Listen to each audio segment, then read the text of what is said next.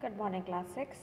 Yesterday we have started with a new chapter, New Empires and Kingdoms, chapter 10 of your history book. We have talked about Arvind, who was going to play the role of a king.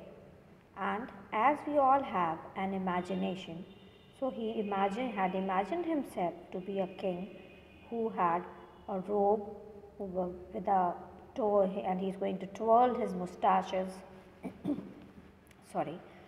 Then he had th- thought of silver paper wrapped sword with costo, but then he had never imagined that he is going to play veena or recite poetry. He was wondering who was that king who would have done the, all this. We have talked about Prashasti, although this was not the first time. You have heard this word before also, and you are very much aware of it. It was written by the learned people, the Brahmins, in praise of the kings. So, Samudragupta's Prashasti we have studied yesterday. The Prashasti was composed in very long sentences. Samudragupta was a warrior whose body was most charming, being covered with the plenteous beauty of the marks of hundred scars. So, here Harisena, the poet who had written about him, had defined his different uh, like wounds which he had got because of uh, like you know different uh, like he had fought different battles and because of the um, like you know barbed darts swords iron clubs.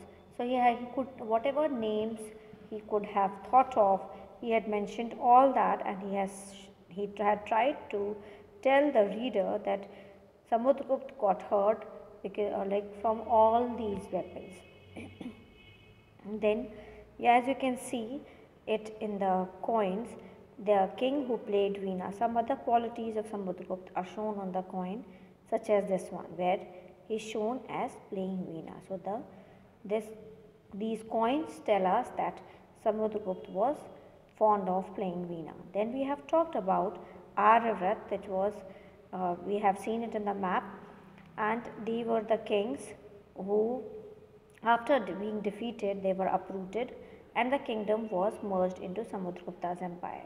Whereas in the, the rulers of Dakshinpat they were 12 uh, but they were after defeating once they have uh, like you know accepted their defeat they were allowed to rule again. So you can see the difference how he had treated two empires differently.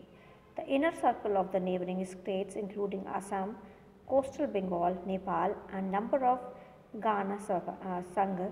Remember chapter 5 in northwest marked in purple on the map. They brought tribute, followed his orders. The rulers of the outlying areas marked in blue on the map, perhaps the descendants of the Kushans and Shakas and the rulers of Sri Lanka who submitted to him and offered daughters in marriage. So the kings, they submitted, they accepted his sovereignty and they offered their daughters in marriage to him. this map we discussed yesterday. We have talked about Vikram Samvat.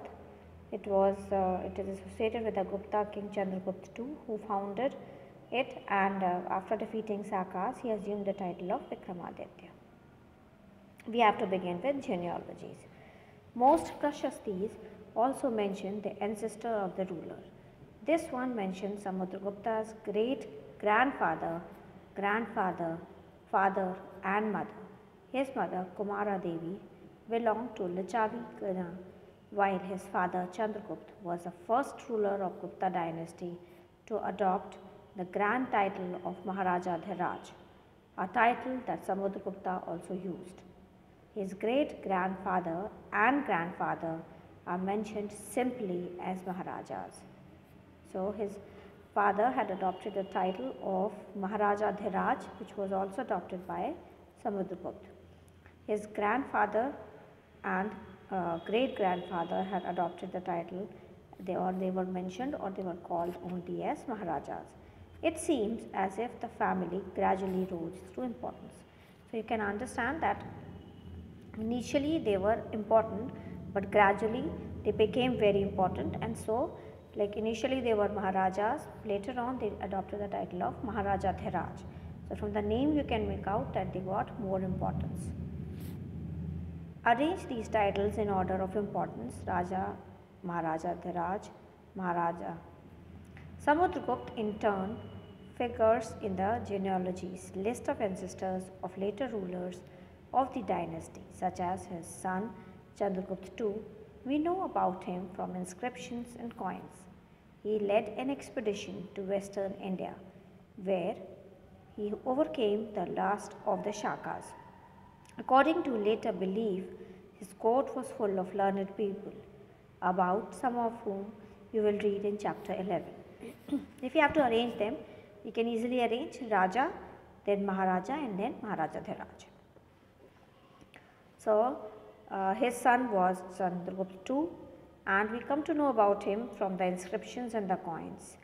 He has led an expedition against the Shakas and according to the later beliefs in the court, he, it is believed that he had in his court there were people, learned people were there in his court. Harshvardhan and the Harshcharit. While we can learn about Gupta rulers from the inscriptions and coins, we can find out about some kings from biographies. Harshvardhan, who ruled nearly 1400 years ago, was one such ruler. His court poet Banabhat wrote his biography, the Harshcharit, in Sanskrit. This gives us the genealogy of Harsha and ends with his becoming king Xuanzang, about whom you read in chapter 9. Sorry, also spent a lot of time at Harsha's court and left a detailed account of what he saw. So, from uh, about some rulers we come to know from the inscriptions, coins and from uh, about some rulers we come to know from the biographies. So, about Harshvardhan who ruled about 1400 years ago was one such ruler about whom we come to know from the from Banabhat who wrote his biography the Harshcharit which is in Sanskrit language. He gives us the detailed idea of Harshvardhan about and, and it ends with the uh, with uh, his becoming king like from uh, details in like whatever happened in his court uh, whatever was the scenario how he became the ruler and all that we come to know from the, from his book Harshcharit. Harsha was not the eldest son of his father but became king of Thanesar after both his father and elder brother died. His brother-in-law was the ruler of Kannauj and he was killed by the ruler of Bengal. Harsha took over the kingdom of Kannauj and then led an army against the ruler of Bengal. So since he was not the eldest son, he was uh, like uh, his brother was supposed to be the ruler. But after his brother and father died, he became the ruler and his uh, brother-in-law was the ruler who was the ruler of Kannauj who was killed by ruler of Bengal. So Harsha he took uh, once uh, like he became the ruler he took over Kannauj and then led an army against the ruler of Bengal. Although he was successful in the east and conquered Magad and probably Bengal also, he was not as successful elsewhere. He tried to cross Narmada to march into Deccan but was stopped by a ruler belonging to Chalukya dynasty Pulakesin II. Pulakesin II didn't allow him to cross Narmada river. So look at the political map of India and list the present day states which Harshvardhan passed through when he went to Bengal and up to the Narmada. The Pallavas, Chalukya and Pulakesins Prashasti. The Pallavas and Chalukyas were the most important ruling dynasty in South India.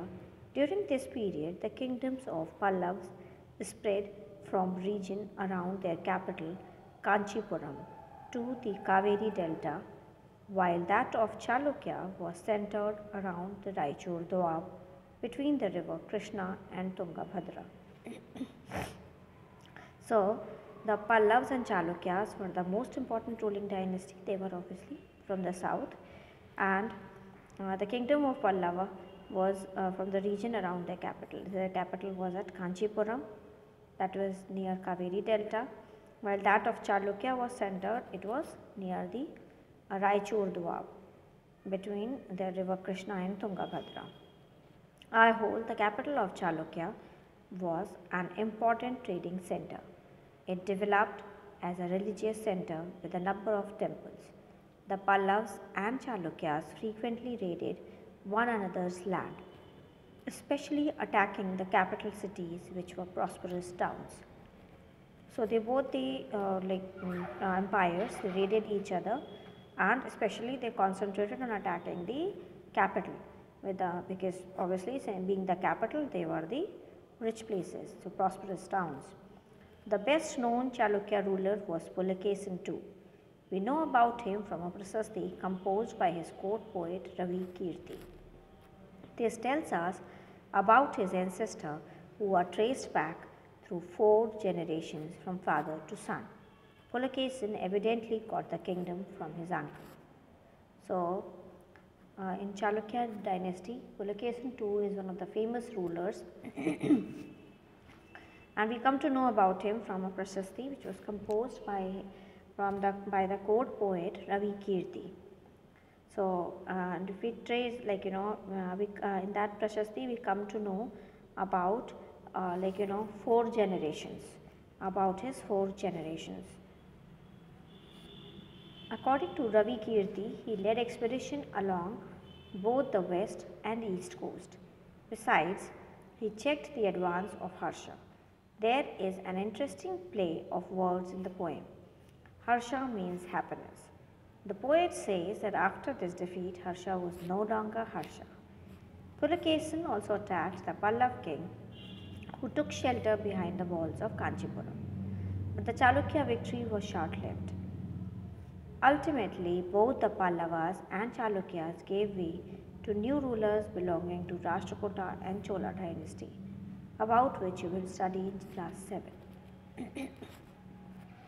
so, Ravi Kirti tells about his expedition uh, from both the east and the west coast and he also tells us that how he has stopped Harsha from proceeding or moving towards, uh, towards the west. Then uh, he says that as uh, like you know he's being sarcastic a little bit you can say that uh, the word harsh means happiness but after he was being defeated by Pulakesin he was never ever happy again. And Pulakesin also attacked Pallav king and after the defeat after being defeated the Pallav king he uh, took shelter Uh, behind the walls of Kanchipuram which was the capital. But Chalukya victory but then that was not very long time lived. They, they, they, they, both these empires lived for short time and that gave way to new dynasties that is Rashtrakuta and the Chola dynasty about whom we will study in class 7. Who were the other rulers who tried to control the coast and why? So, uh, that you have studied in chapter 9. Okay, so that's uh, mm, how were these kingdoms administered? As in the case of earlier kings, land revenue remained important for these rulers.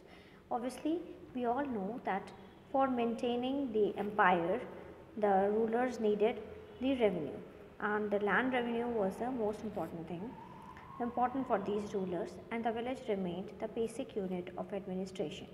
There were some new developments as well kings adopted a number of steps to win the support of men who were powerful either economically or socially or because of their political and military strength. For instance, some important administrative posts were now hereditary. So, you can understand that the administrative post were became hereditary. That means after father, his son would take over. This means that the son succeeded father to these posts. For example, the poet Harisena was a Mahadandanayak or chief judicial officer like his father. Sometimes one person held many offices. For instance, besides being a Mahadandanayak, Harisena was a Kumara Matya, meaning an important minister, and Sandhi Vigrahika, meaning a minister of war and peace. so, first of all, the uh, one person uh, like the, uh, the designation was hereditary. Second, one person can have like two or more post office or the offices simultaneously. So, besides important men probably had a say in local administration. These included the Nagar Shreshti or chief banker or merchant of the city, the Sartavahara or the leader of the merchant caravans, the Pratham Kolika or the chief craftsman and the head of the Kayast or scribes. So, besides uh, important men probably had to say the important people had a say when they like you know something was uh, taken, like related to administration. If something had to be decided uh, about the administration uh, then they had a say. They included the nagar shreshti or chief banker or merchant of the city the sartavahana or the leader of the merchant caravans. So they could uh, they were the um, then the pratham kolika or the chief craftsman the head of the kayast or scribe. The kayast for the other scribes were the people who used to jot down or write down.